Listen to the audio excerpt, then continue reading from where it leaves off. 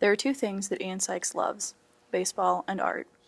And it is no surprise that when this college catcher takes off the gear, he uses the game of baseball to inspire his artwork.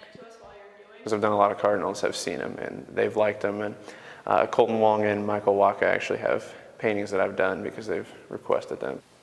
For those of you who aren't baseball fans, Kolten Wong and Michael Wacha both play for the St. Louis Cardinals. Sikes got his start in the baseball art world by painting images to raise money for a variety of good causes.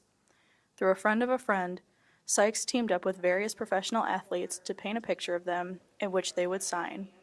The painting was then auctioned off for a charitable cause.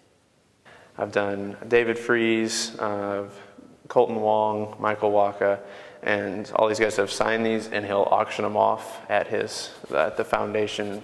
Not only are his subjects unique, but the style Sikes uses when painting causes his work to stand out. I, I didn't choose to work this way. It's just kind of how I work, um, and it comes from my detailed drawings like this. And when I paint, I just I have to work quick. Well, I'll start with um, I'll do a sketch and kind of work from a sketch, and then I'll take the sketch and put it onto canvas, and so that just means I'll um, do rough gesture drawing on the canvas with paint, and I work with um, two colors. I work with a bright color and a darker blue color, and just to kind of push and pull colors. Um, and then as I continue and as paints dry, I um, create depth and try to create a sense of um, three-dimensional on the canvas.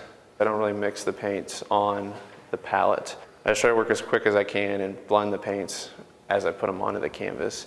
And I think that kind of creates texture, so I try to sculpt with paint. Sikes says with any luck, his baseball themed paintings are something he hopes to continue in the future.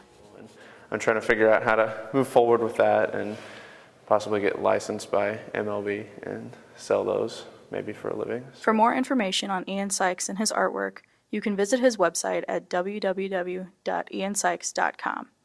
Reporting for TNN, I'm Samantha Johnson.